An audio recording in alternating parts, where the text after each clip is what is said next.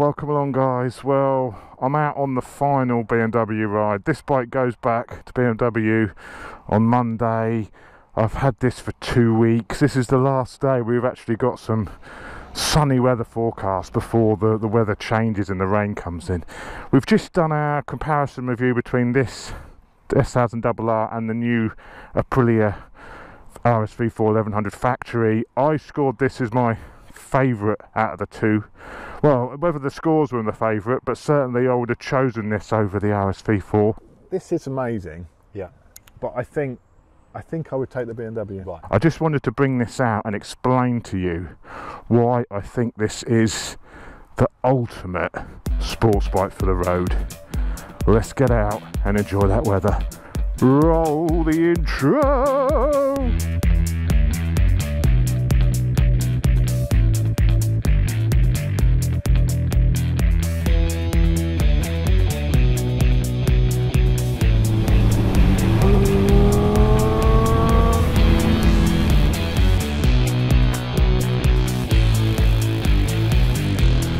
So at the moment I've just been playing on this.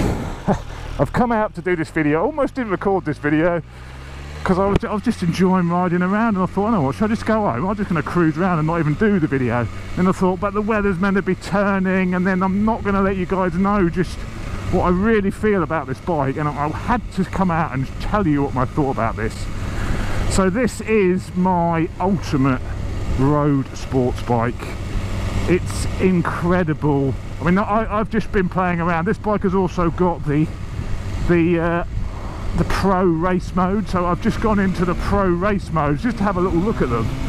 So yeah i'm in the track modes now. It's got three track modes this bike where you can fully customize three different maps to your liking anti-wheelie suspension throttle control all independently. And it actually wakes up these dtc buttons on the switchgear here and you can adjust how much uh, traction control you want manually. So I mean this has got all of that those pro race options on this bike. But that's not why I love it. Let's get it out of those race modes and let's bang it in to comfortable old road mode. Settings racetrack mode off. There we go. We're back in good old good old road modes. Let's go dynamic. Let's go road because it's just so damn comfortable Ah, there we go. Still no slouch. You were probably all screaming at the screen when we did our comparison with Greg and I said I'd rather have this than an RSV4 1100 factory. I can't believe it. I'm so surprised. I love the RSV4. I love the Tuonos. I love that motor. I love everything about that bike. But as a road proposition, it does not come close in my view to this. This is the ultimate sports tourer. Yeah sports tourer. This this can turn from a a focused track machine to a comfortable sports tourer on the fly at the press of a button. And that is why I love this thing. I mean I'm in road mode now the suspension this, this electronic suspension is so good on the latest BMWs yeah okay you may not get quite as much feedback from the road as you do with the Öhlins system. It's very close but maybe just not quite as much. But what you do get is twice as much comfort than the Öhlins system. This is the road mode so you know, it, it still lets you feel the texture of the tarmac, but it dials it all back a little bit. You hit a pothole and you can feel the bike, you know, almost sort of wallow a little bit, you know, in a good way, in a comfortable way. You're obviously not going to want that when you're in sports mode, but it, it softens it all up so much for the road that it makes it an absolute joy. It also softens the throttle response off a little bit. It's still got bags of power, but it's just dialed back a little bit to make it easy and that is what I love it. When you've got it in it when I first test rode this bike I have done another an hour's I did a first ride on this bike last year when it first came out. Just a quick thrash for an hour. And you know and I was it was hard to hold yourself back. It was one of those bikes where you think could I actually control myself on this? But put it in road mode it softens the whole thing back so much that you don't feel like you have to go fast. And you can literally just dial everything back and just start to enjoy just being out and just riding. And that is what I love. Things like the RSV4 they're all too focused on going fast and brilliant on track but that doesn't always work as a road bike. Also on the BMW you've got so many creature comforts uh, cruise control which is so easy to use. You know I just leave it turned on all the time and then just go set bang you know it's on and because this is a sports bike you really need the cruise control just to give I mean the bars are quite close to you. There's not a massive amount of weight on the wrists. I'd say it's about the same as the Brutale I rode the other week. Maybe even a bit more comfortable than Brutale because that had the really very very hard Öhlins EC2 suspension which made it really uncomfortable this is way more comfortable than that naked Brutale way more comfortable. And of course you've got the fairing for the wind protection so bang the cruise control on rest your wrist a little bit sit up even you know the bike is so light. This is the M Sport version.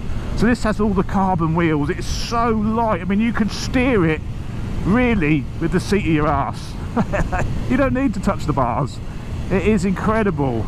The dashboard is just so nice on this BMW so clear. What I also love about them is when the bike is cold the actual red line starts at 6,000 revs so you, you, you can't exceed the red line when the bike's cold and it slowly goes up as the bike warms up the red line goes up. Lovely little feature.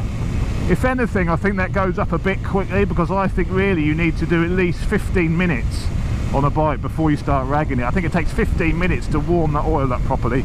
So I'd even like to see that stay that red line stay down for longer so people know really how long they have to warm their bikes up for before they can can open them up because I think that goes up a bit too quick but it's just little things like that little little you know that that stuff that oh go on then. Go on I don't care go on off you go. I'm quite happy just poodling. But it's stuff like that which makes a fantastic robot. Little things that they thought about that the Germans have thought about it and they've included stuff like that. Yeah okay.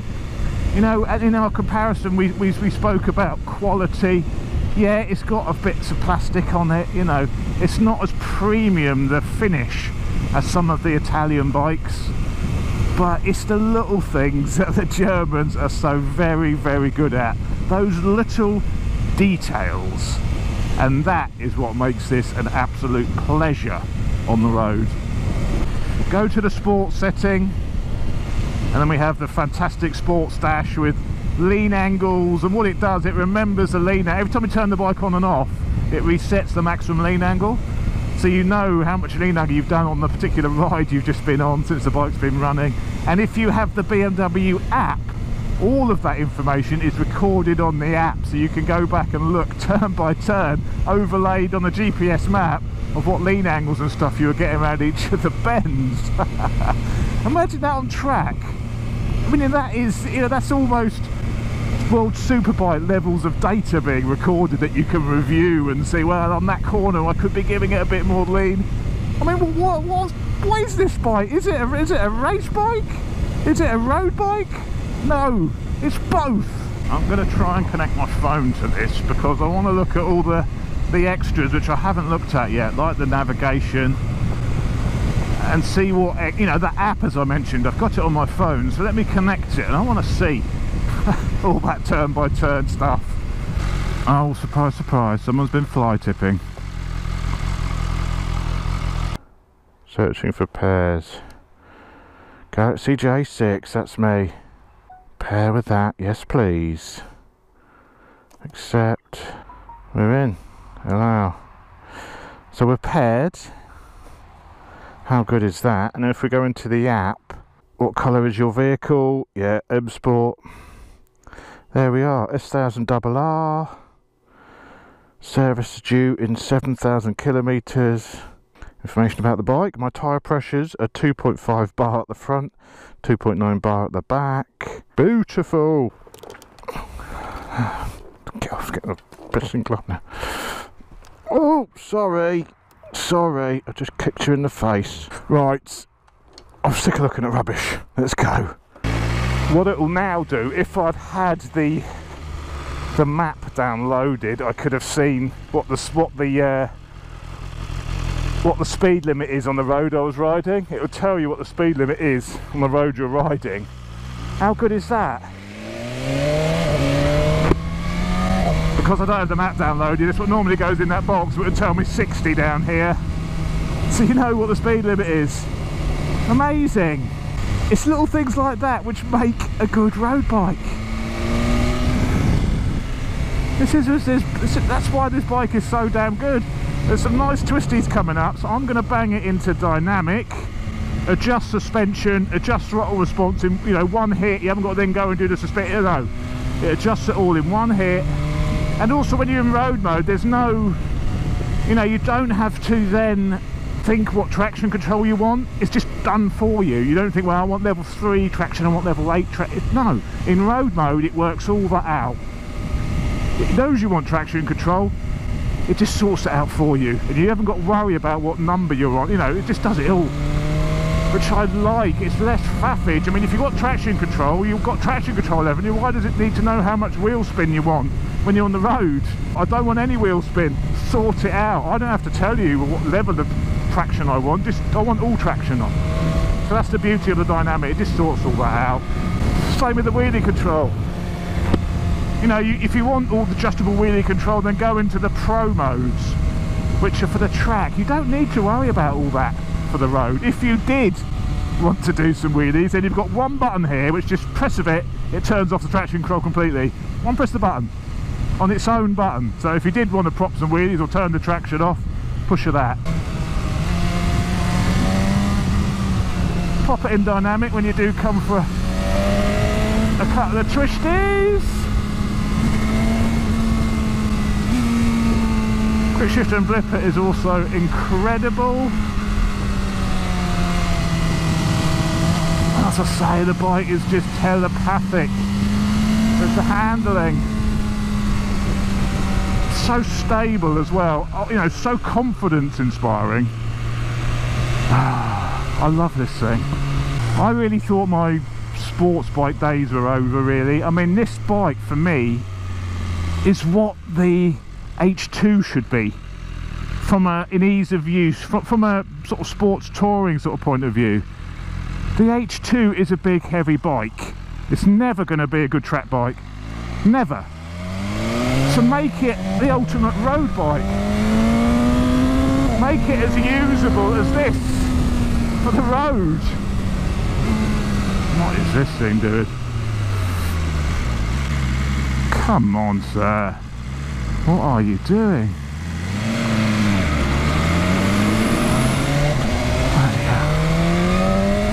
Oh, there's some big old bumps up here, so I'm going to go back into road mode. I mean, to be honest, the road mode, nine times out of ten, is good enough when you want to go sporty as well. You know, it's it's not. there they are. There they are. Didn't jar me. It handled it. It didn't use all the travel of the suspension, which it does on most bikes beautiful.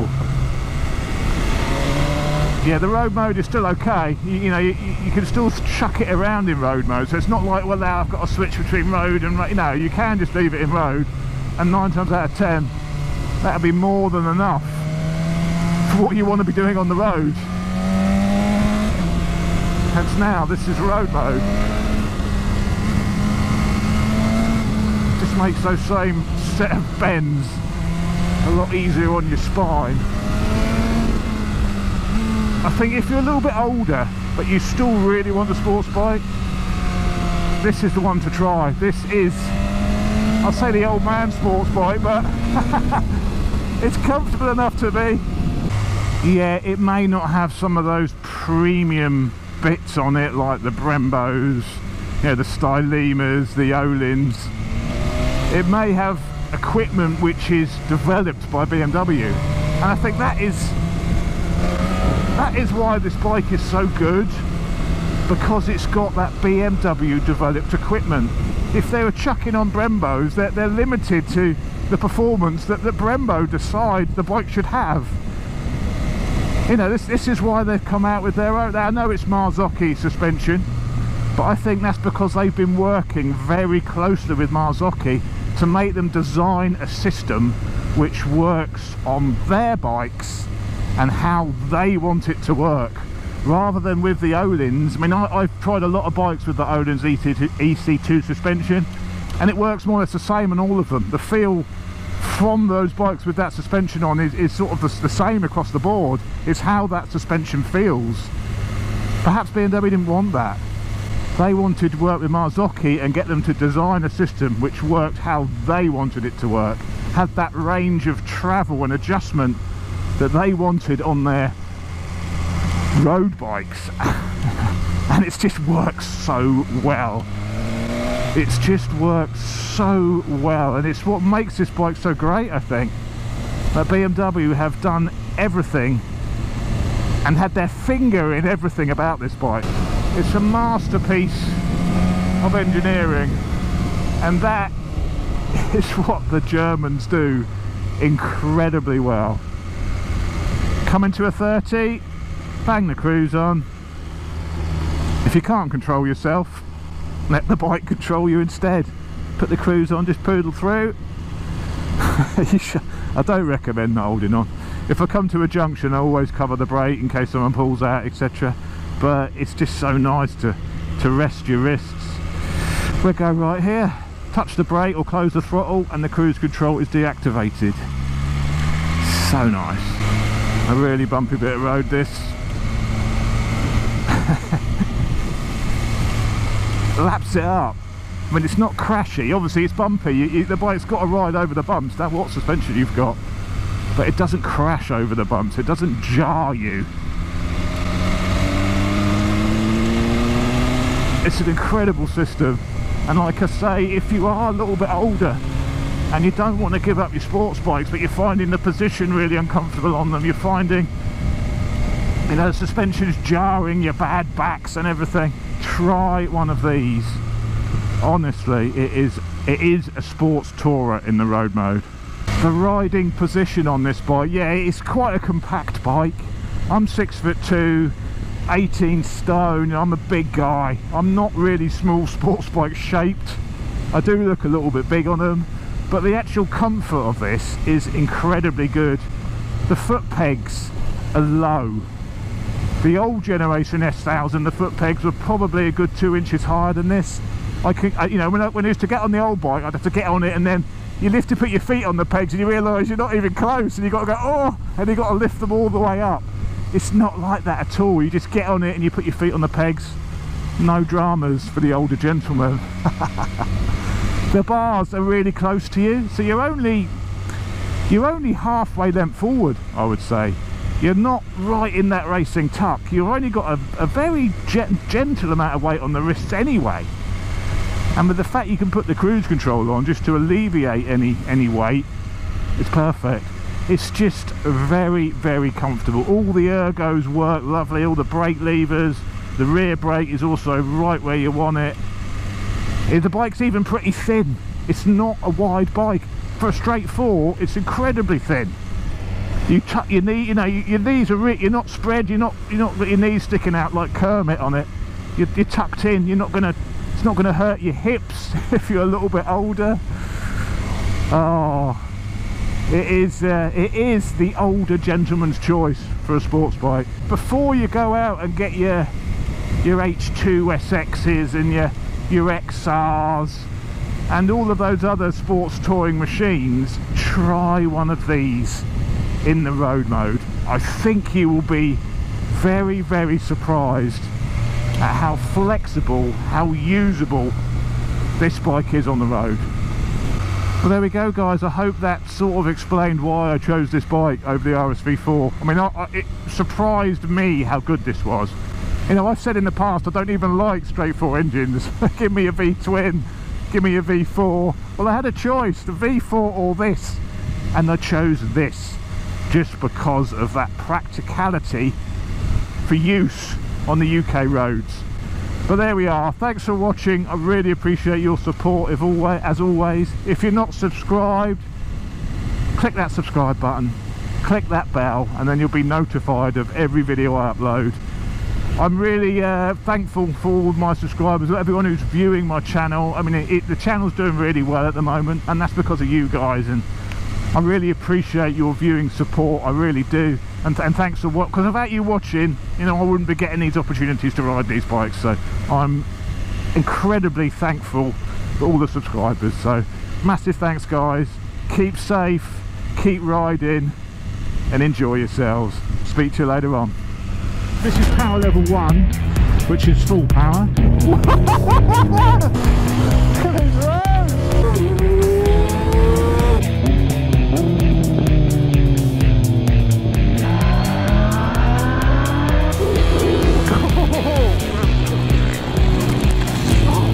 Boy. What's she done here? I, told you I was scared back there. I've never dropped a bike before in my life. Whoa! That's it. That's it. Listen to this. Never mind getting beat up. Give me this any day of the week. Oh,